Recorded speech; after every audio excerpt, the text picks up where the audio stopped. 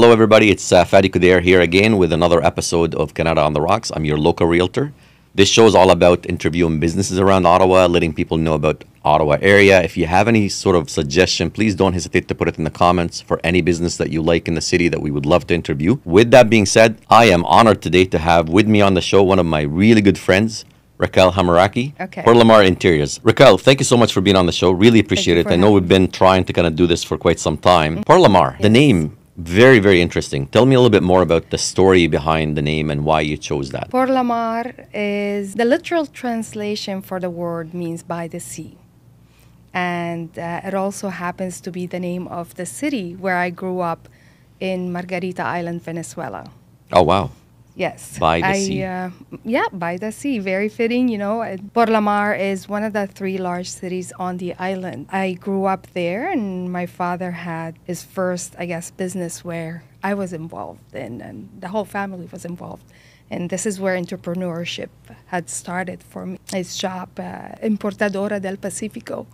So as a child, I would help him uh, in the in the store. This is where I started loving business, loving creating displays, creating anything that I can come up with in terms of, you know, what to present to people and stuff like mm-hmm. that. It used to be like clothing or home decor or whatever that is. So Porlamar just seemed to fit perfectly for how I wanted to introduce my business because when I remember Porlamar, I remember the ease of life on the island and a little bit of the warm air and just the beauty of palm trees, you know, the beach and, and everything that's natural natural. I was surrounded with there.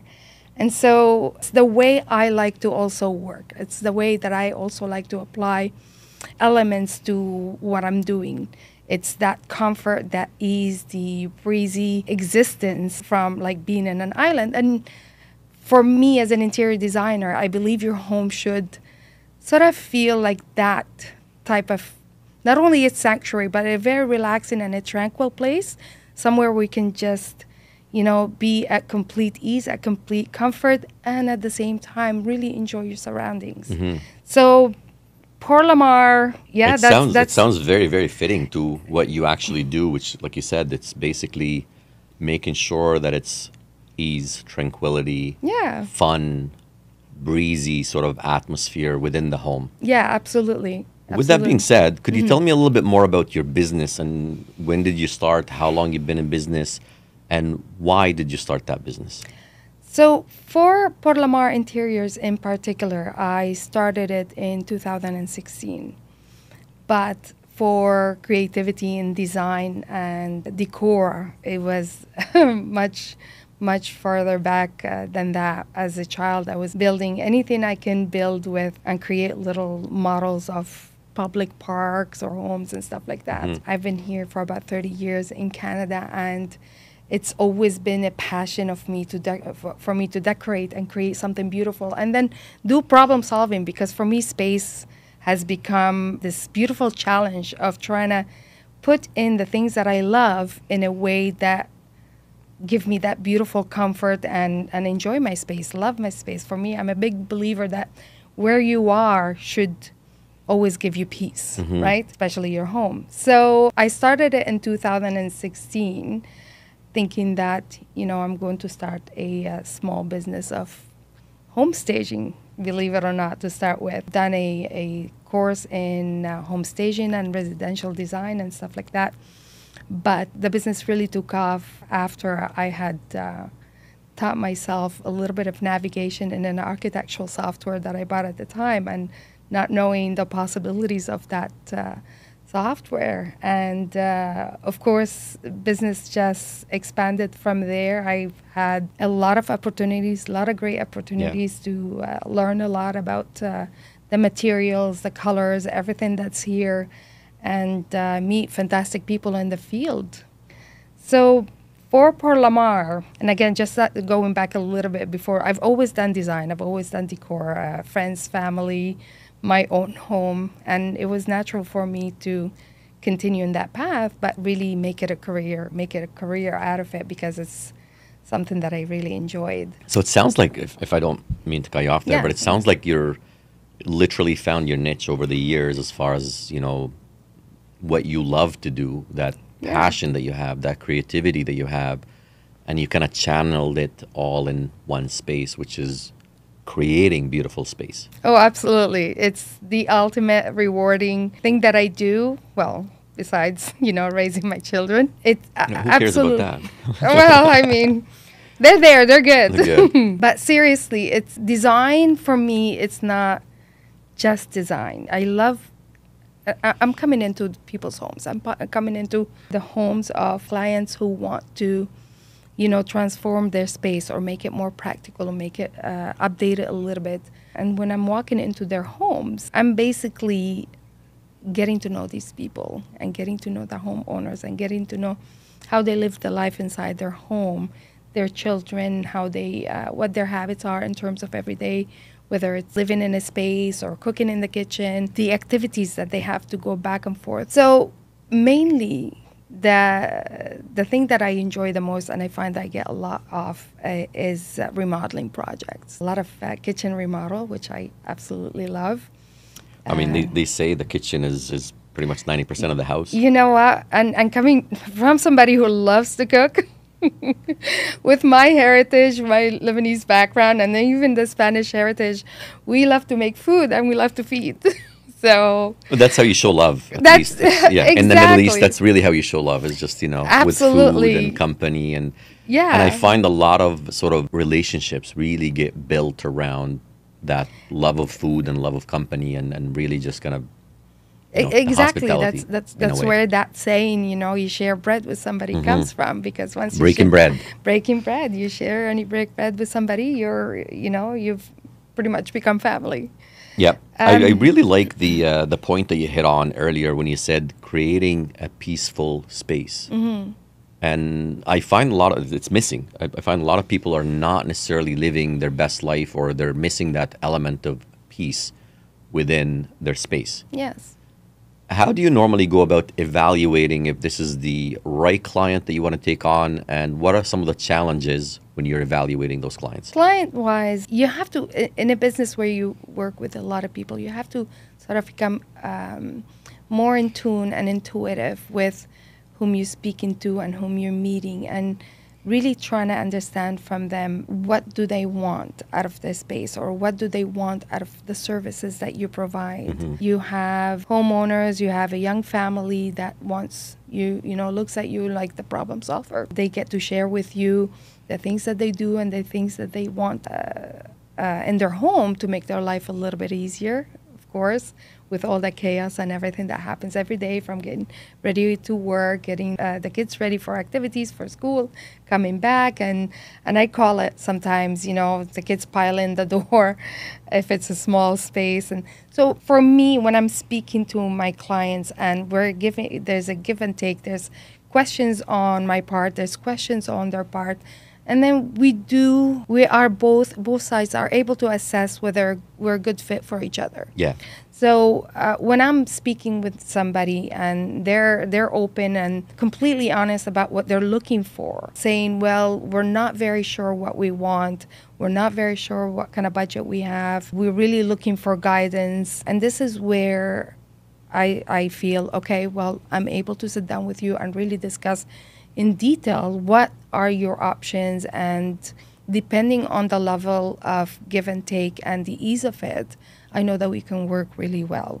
That's not to say that sometimes i will face uh, indecisiveness from uh, certain clients or they're a little skeptical or hesitant and stuff like that and i'm able to sort of accommodate and then work with them. It's it's also a little bit of matching energy you know being Yeah, able to yeah, it be sounds like- with people. Put them at comfort. Make sure that you're always you know I, i'm genuine. I love what i do. And so when i sit down with somebody i'm able to sort of pick up on their personality a little bit pick up on the way they like to communicate. And so i match that to give them the trust and the comfort that listen i am here for you. I'm here to help you achieve what it is that you're looking for.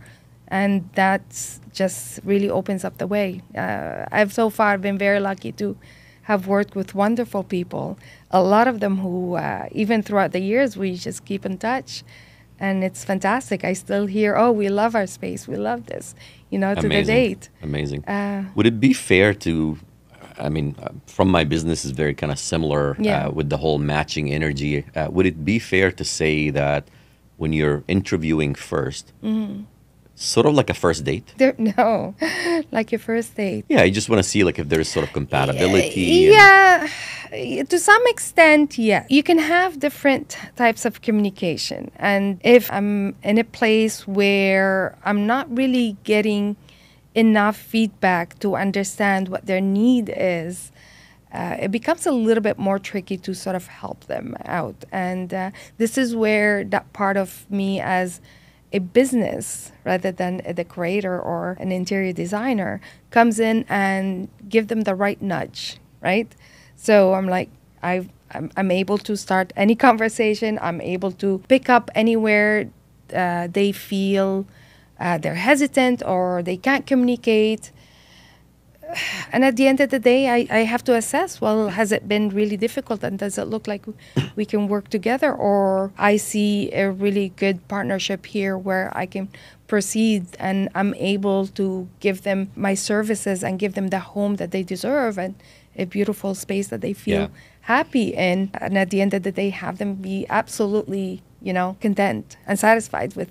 And what would you see. say again, going back to the same sort of Mm-hmm. question? What do you feel like your biggest challenge when you're doing that interview process and trying to figure out if you guys are a good fit and if this is something that you want to take on? Sometimes, and it doesn't happen very often. I feel people generally, when they call me for interior design services, they are open to the idea of like, we don't know what to do with our home. We want somebody who's got the expertise. Some difficulties are really the communication mostly, or the expectation for what I offer versus what they they imagine uh, what's in the in, in, in the market.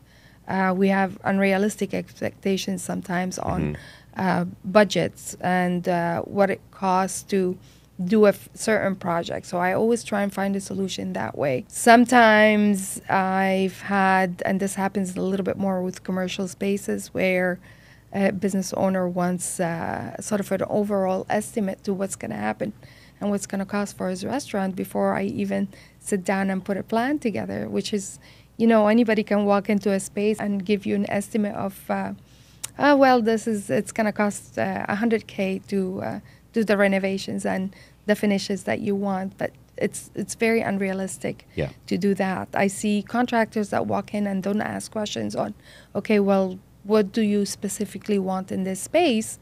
Uh, we'll give a ballpark estimate, even though they are they have the expertise they know how much things cost they buy the lumber they buy the fixtures they buy this and that there's still a lot that could be different once they open up the walls and stuff like that so clients or homeowners rather they kind of skip over all of that and they want something to happen without the full commitment to the project does that make sense Yep. Yeah. No, fair enough. Okay. With that being said, I just want to go back to some of the projects that you've worked on in Mm-hmm. the past.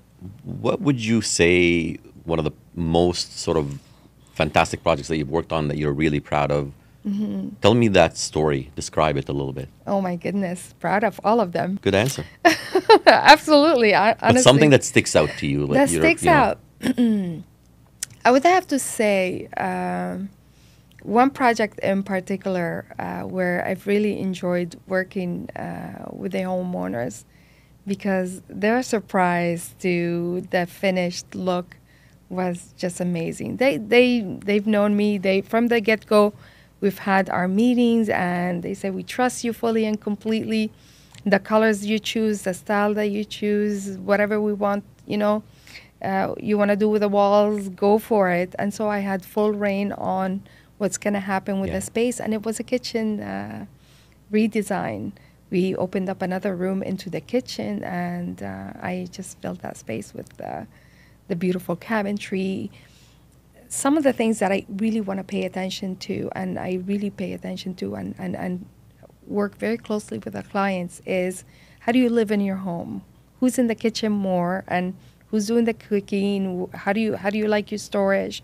What's gonna work? So I trying to get all these answers before I even make any plans. And then I do a layout or do the first drafts, really keeping in mind what would make the best sense for their lifestyle. And also, I have to keep in mind uh, what is that going to look like in terms of resale down the road. Let's say they're going to live in that home five, six years, or two, three years, or even 10 Mhm. years.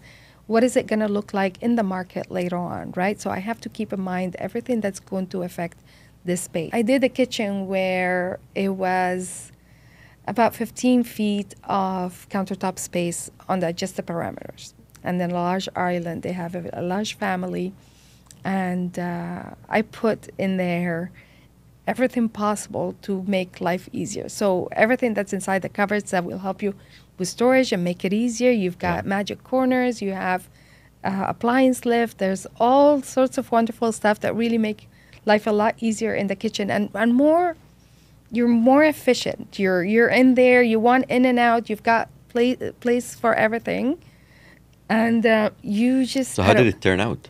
It turned out beautifully.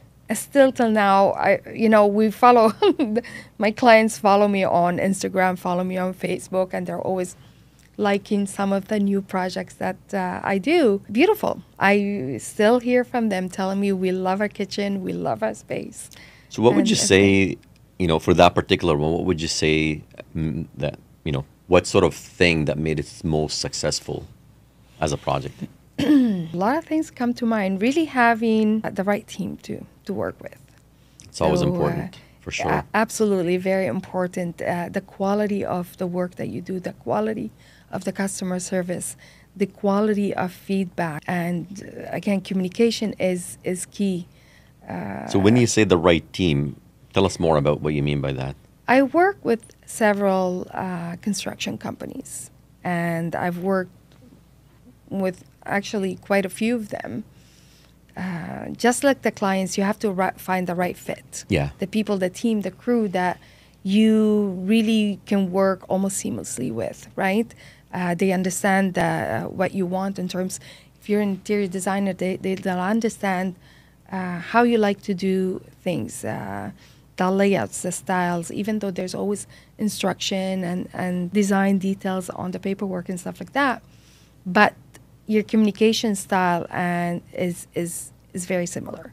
So you're able to be clear, be honest, be uh, upbeat about things because I I find attitude also is very important. Very, very important, Uh, especially like when you're doing something that's like multi-step that requires a lot of engagement, a lot of sort of time pouring into it, and and especially with you. with the way that we work uh, the construction is not start to end uh, go go go there is uh, start no, problem, start no, list problems. Oh, yes. Oh, there's a surprise. Oh, absolutely. Sometimes we open up walls and there are things that shouldn't be there. And I'm talking electrical or I'm talking that some two by four got, you know, cut to pass wires through or whatever.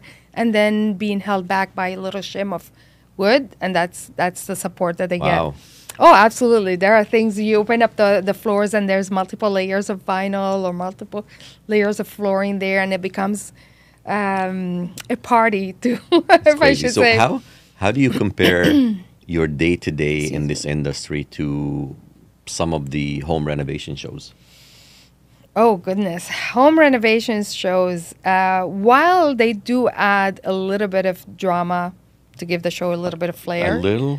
okay, a lot of drama. I think it still somehow gives people the unre- unrealistic uh, view of how everything works. Yeah.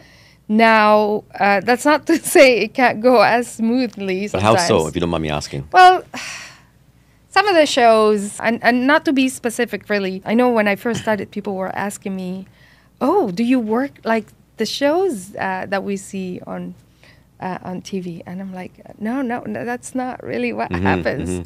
There's a lot more that happens behind the scene, and a lot more uh, interaction and communication and Yeah. problem solving."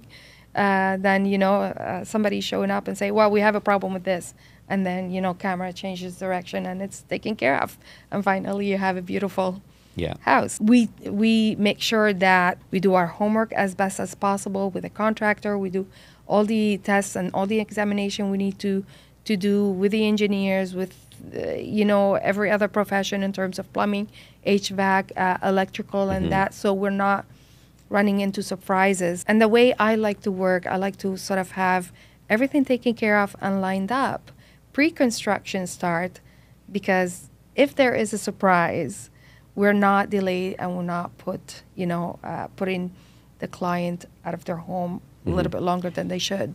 With that And- uh, in mind, Yes. I mean, again, at the end of the day, there's no such thing as a project with no hiccups. Oh no. But tell me a little bit more about a project that you've done where you're like, holy crap. Like, oh goodness. those are normally good. the most interesting ones. That's Well, yes, there is one. I, I think it was last year. Absolutely. I came into uh, this client's home in the Glebe and uh, they wanted a kitchen remodel. Now, their w- one side of the kitchen a wall used to be an exterior wall, and they've been in addition to it. So it was just a one floor addition to uh, that kitchen, that floor. And the decision was to take down that wall. We were able to take it. We were going to do the structure so it supports everything that it needs to support. We are going to take that exterior wall and open up the kitchen to the existing addition uh, of a family room.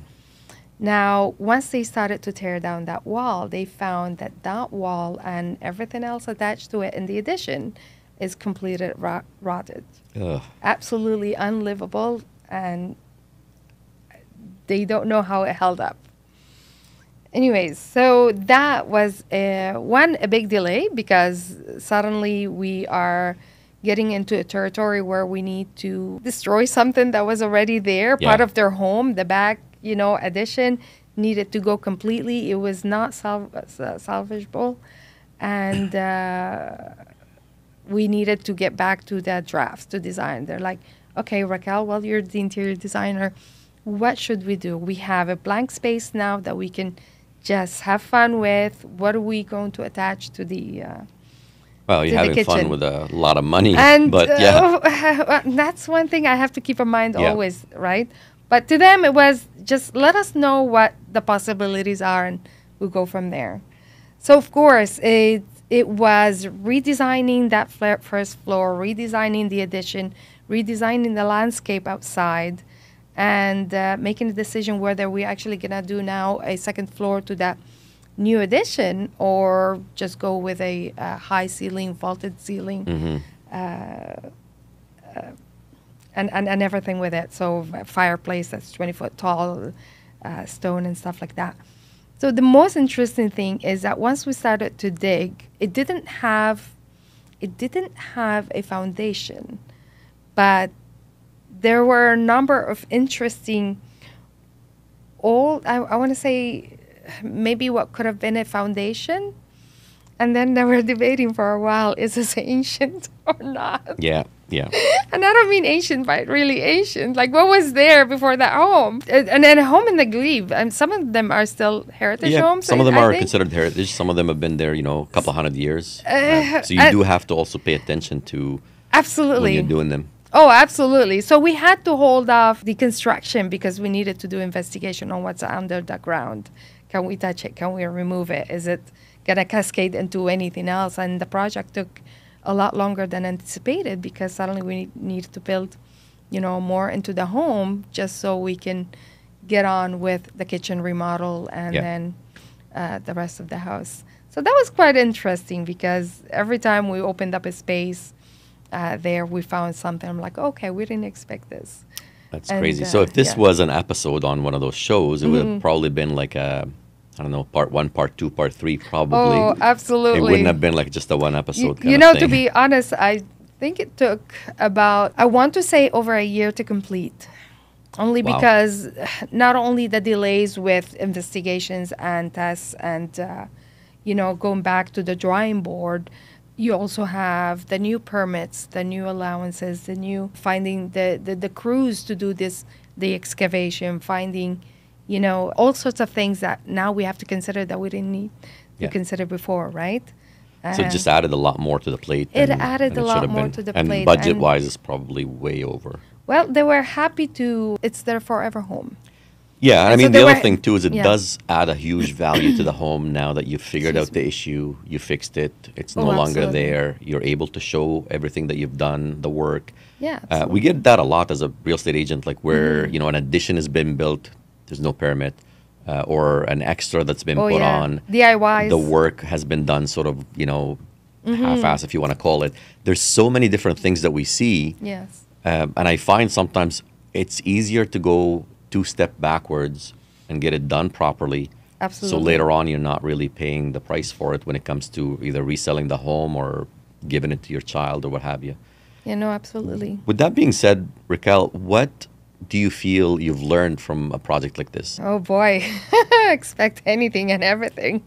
I told Uh, you. you know hey, what? I'm always there's no prepared. questions off limits I here. love being prepared. I walk into a home, and uh, one of the things that I like think, and I like to, I guess, tell my clients when I walk in, I already know what the space is going to look like or needs to look like. So uh, I don't know if you've seen those shows where you've got uh, uh, the expertise of investigation or whatever, and they're like already have things figured out. Mhm. My mind works the same thing. I walk in and uh, I've already had a conversation with the homeowners, and I know a little bit what their style is like and what kind of, you know, home uh, daily life they want, they like to have. So I walk in and I see the colors that they've surrounded themselves with, pieces that they've got here and there, and I get a sense, and then I'm like, okay, uh, take a look at a space. They tell me, well, we want this wall down, this wall up, or whatever, and and I already see everything in my head, right? Mhm. I'm like, okay, these are the options we have.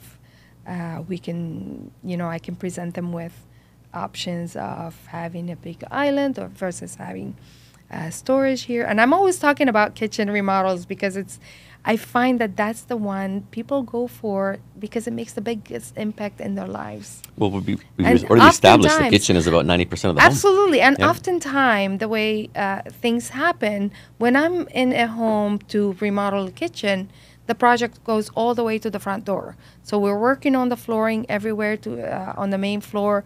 We're working on offices, uh, spaces, the family room, the fireplace, the powder room, and uh, oftentimes uh, I get uh, call back from the same client, and they're like, "Okay, we're ready to do the second floor," and so we start with the en suites, with the bathrooms, and everything else. But for me, um, having to work with the heart of the home is like my uh, most rewarding part. Yeah. So I'm going to take you back again. Yes, to the I know you keep yeah. what have you learned from that particular project? Ooh, which one? Where The it one was where full of surprises. full of surprises, yeah. Goodness, what did I learn? Patience. Patience. patience is a virtue for sure. Patience. I feel like patience for a lot of people doesn't really come like nobody wants to be patient, right? Nobody No. has that to to start with.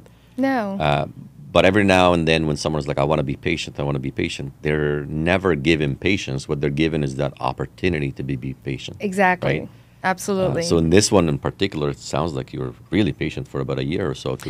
yeah, no. get the I- project back uh, on track. uh, absolutely, and uh, it was wonderful. So, what else did I learn from there? Honestly, I don't want it to sound like I'm bragging. I'm just good.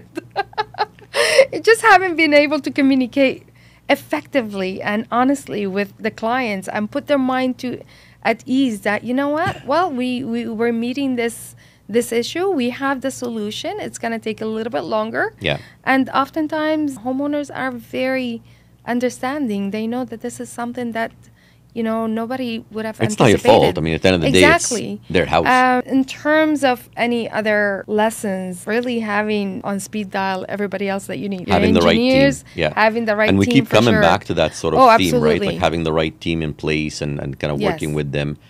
It feels like it's it's got to be a cohesive unit, right? It's Oh, like if they're not working together, if you're having, you know, a team member that's not really picking up the slack, you're kind of dragging yourself down with that team member. Absolutely. And sometimes it's not about the team member not wanting, and I, I find this quite often with, with a lot of teams, it's not about the team member not wanting to do the work. Mm-hmm. It's that team member feeling like they maybe don't know how to do the work, that they're actually delaying the process a little bit and, then acting like they're, you know, they don't want to be part of that team.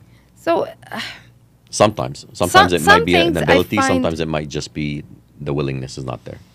Uh, true, true. Um, I got to work with all sorts of wonderful crews out there, and uh, again, communication style. Communication is the key. Communication. uh, You you have some crews that are more proactive in certain uh, circumstances. Um, I have about two, three crews that I love working with because once I have all the paperwork ready for them in terms of installation of, let's say, backsplash of flooring, there's a certain pattern, certain design. This is where we need electrical for certain items and um, and certain features and stuff like that. If anything happens and I'm not around, I had to take a couple of uh, trips for family reasons this past year. And I left a crew that was absolutely wonderful to work with. My clients rave. As soon as I open the door, they're like, "Oh, we love so and so," and Amazing. really, and, and, and it's really good to hear. And, and that So- actually, like, I, I'm I'm glad they brought this up. It um, in our business is very common that we're relying on a lot of services people or uh, Mm-hmm. trades or other sort of partners. I want to call them. Yes. Uh, in doing the transaction or in doing the the business that we're doing. Uh, with that being said, a lot of the times they do drop the ball, and it's not necessarily on you, but you're the client facing. Yes. How would you translate that to the client in those situations? There's a couple of situations that uh, would have to be mentioned first. Sometimes I'm bringing in my crew and they're working under my instructions, or uh, I don't want to. Well, we're working together. Uh, I introduce the uh, contractor. The clients uh, interview them. They, there's certainly never an obligation to work with anybody I bring in.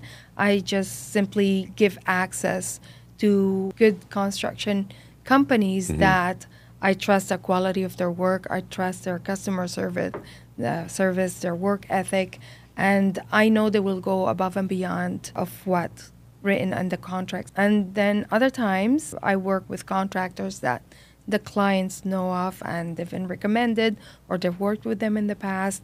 And I will work closely with both companies, you know, Yeah. make sure that everything that the client needs and everything that I've designed with the client is presented to the contractor. Now, if something happens and they drop the ball, when it comes to a crew that I've sort of brought in, I introduced, whether the co- the client contracts them directly or not, or through me, I make sure that I'm there to make offer a solution. Something got reinstalled uh, installed incorrectly, or there's an issue with it, or uh, whatever it needs in terms of correction.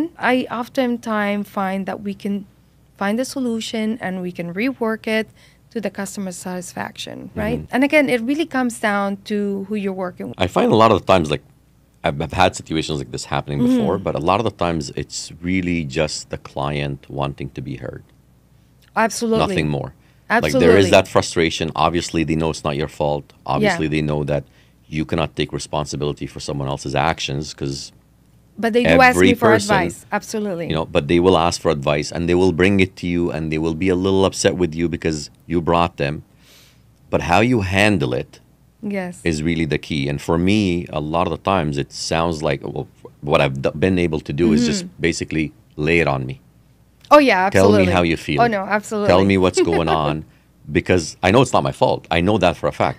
Yes. But I can't say that to the client because No, absolutely. it's not, going to really, like, there's no uh, sort of gain in really combating that or like pointing fingers or like I told you so. None of that. No, no, because at the end of the day, you are the face of 100%. the project. 100%. right? And because the- of that, you really got to act like the face of the project. And at the end of the day, I, I have to believe uh, my goal and the construction company's goal is the same. We want to give the client the best, Best service possible, Yeah, exactly. The best product, the best finish, the best service.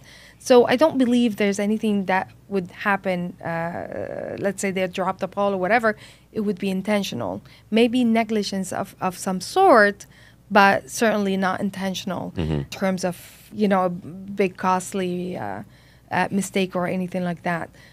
Thankfully, knock on wood, nothing like that has ever Yeah. happened. Well, that's good. Uh, minor good. things like touch ups and stuff like that. So far, you know, uh, I've been able to just navigate through the ins and outs of anything that might come up as a surprise. And Yeah. I take responsibility and I take care of the thing, and I'm always on the road back and forth. You know, making sure uh, the clients are getting what they want in terms of of uh, the designs and the Mm-hmm. you know and the finish and the style and the the quality that you know we've we've agreed on. Amazing. I did have one sort of last question just Yeah. because we're coming kind of the end of the, the our time together. And it's kind of sad that I'm uh, missing that. But with that being said, what do you think is the next big thing for Porlamar Interiors? Oh goodness. Um, there's going to be quite coming coming through. I love um, I love Porlamar Interiors. The opportunities it gives me to work with uh, wonderful people, with clients, with uh, homes, really uh, be creative and do the things that I do best and uh, the things that I love to do. Um, I'm simply looking to grow, and I am growing, and I'm, I'm making, you know, solid uh, partnerships with other uh, other businesses in the industry. Mhm. Um, we have uh, a colleague who does a lot of uh, my permits and my drafting and stuff like that, uh, wanting to introduce interior design to his business.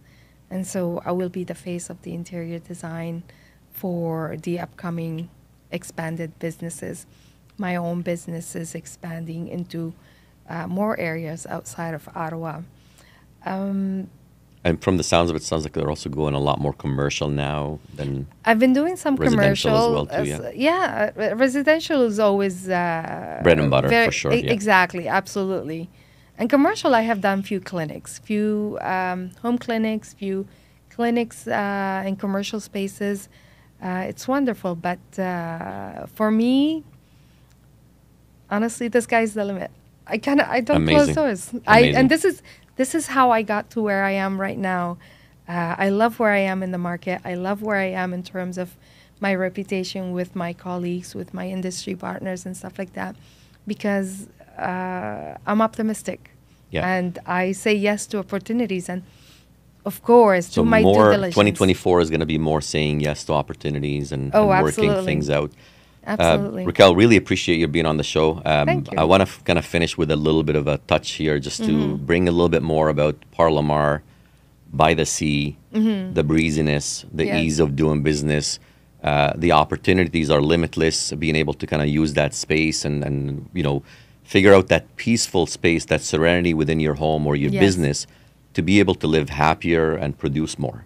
Absolutely. And for that, Porlamar is the place to be. Really appreciate you being on the show. Thank you so much. And if you guys like this show, you like what you see, a lot more episodes coming like this. We're talking a lot about businesses within Ottawa and what we do to bring to this beautiful city that we have.